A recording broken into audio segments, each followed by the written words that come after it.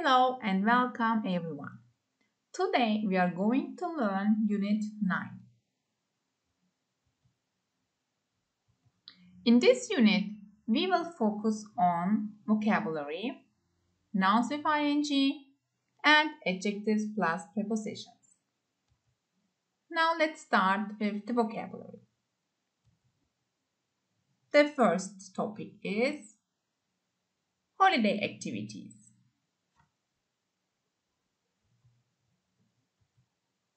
Surfing. Surfing is the sport of riding a wave towards the shore while standing or lying on a surfboard. Bungee jumping. The activity of leaping from a high place while secured by a long rubber band around the ankles.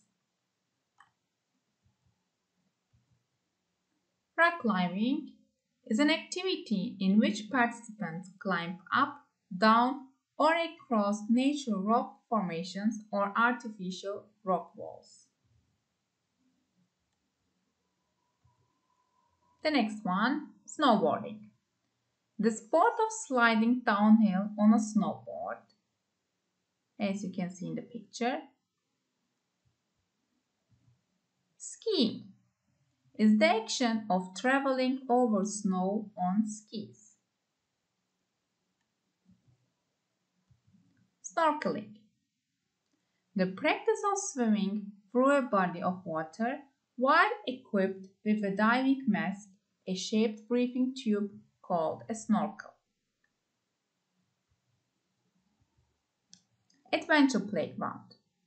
It is a playground containing objects or structures such as ropes, slides, and tunnels for children to play on or in. Museum. A museum is a building in which objects of historical, scientific, or cultural interest are stored and exhibited. Wildlife Park is an enclosed area of land where uncaged wild animals roam fairly freely in conditions designed to their natural habitat as closely as possible.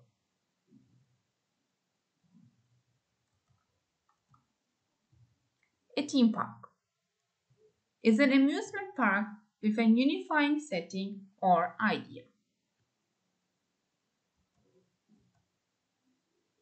The second part Descriptive adjectives. Shimmering.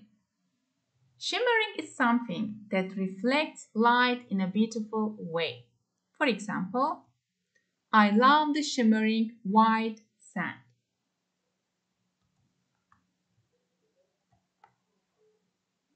Sapphire.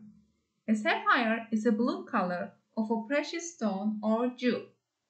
For example, we touch the sapphire blue ocean. Salty is the air around the sea. Example, she smells the warm salty air. Ancient means very very old. Example, the class will explore the ancient history of Rome. Worn. Worn is something that has been used a lot. Example, these are my favorite shoes, but they are very worn. Let's look at the senses. They are taste, hearing, sight, smell, and touch.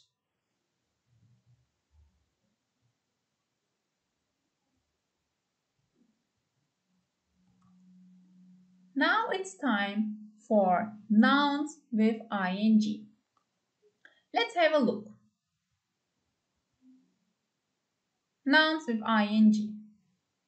We can use the ing form of a verb such as now. Nouns ending with ing are often words describing actions. Nouns with ing are regularly uncountable nouns. They can be used as the subject of a verb. For example, learning Spanish is not easy. Or they can be used as the object of a verb, such as we enjoy learning Spanish. Let's look at some examples. I would like to try snorkeling.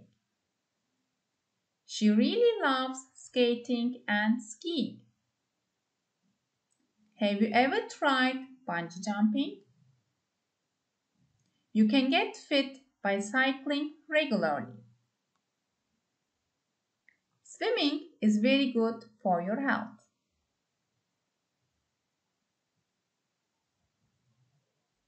The next subject, adjectives plus prepositions. Now let's have a look at adjectives plus prepositions.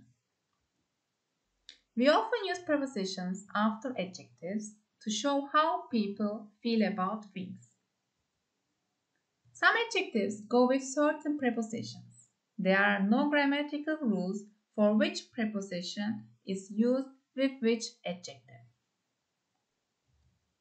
Here are the most common prepositions that follow adjectives in this way. They are about, in, by, for, from, at, of, to, and with.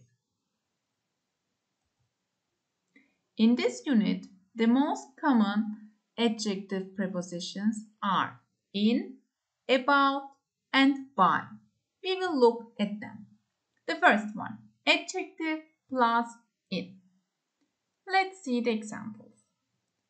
The teacher was disappointed in the behavior of the class.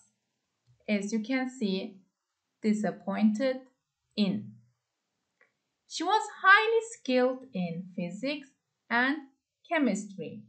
Here, our adjective plus preposition is skilled in. Sam is interested in English music. Here, we use interested with the preposition in. Mary is very involved in volunteer work. Here, we use again involved with in. The next preposition is about. Adjective plus about. Let's see, please. Examples. I felt sad about the decision. Here we use sad with the preposition about. He is nervous about the presentation. Here again, we can see that nervous is used with about. She is excited about the new job. Here again, we use the adjective excited with the preposition about. They were worried about the exam. The next preposition is by adjective plus by. Let's see the examples, please. I was fascinated by the musicians. As you see, fascinated is used with the preposition by. She was amazed by the new film. Here again, we use by with the adjective amazed. My friend was surprised by my performance. As you can see, we use with the adjective surprised the preposition by. They were not impressed by your decision. Here again, we used by with the adjective impressed. Now it's time to practice Let's see. Here we will fill in the blanks with the prepositions by, about, or, in. Let's have a look. Lee is really excited starting to school. Is it by, is it about, or is it in? Number two, if you study something you are interested by, about, or in, you will do well. Number three, we were shocked. The decision, is it by, about, or in? Everyone knows it's wrong. Let's look at number four. There's nothing to be nervous. It will be fun. Number five. We were fascinated. The stone figures. Number six. The class was really interested. Science. Number seven. They felt very sad. The problem. And number eight. When she got to the zoo, she was amazed the animals. You have time to do it. You have to fill in the blanks with by, about, or in.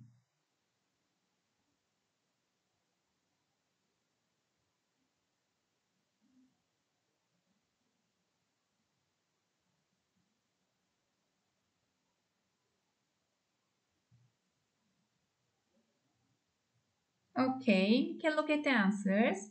Let's look at number one. Lee is really excited about starting to school. As we know, we use the adjective excited with the preposition about. Don't forget please, excited about. Number two, if you study something you are interested in, you will do well. Here of course, we know that we use interested with the preposition in. Number three, we were shocked by the decision. Everyone knows it's wrong.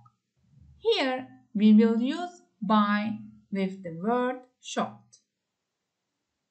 Let's look at number four. There's nothing to be nervous about. It will be fun. As we learned, we use nervous with the preposition about. Number 5. We were fascinated by the stone figures. Of course, here we use by with the adjective fascinated. Number 6. The class was really interested in science. Yes, here the answer is again interested in. They felt very sad about the problem. Don't forget we use sad with the preposition about. Number 8. When she got to the zoo, she was amazed by the animals. We use the preposition by with the adjective amazed.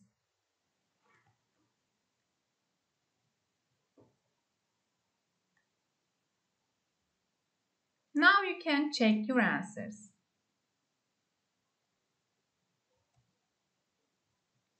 Thanks for watching.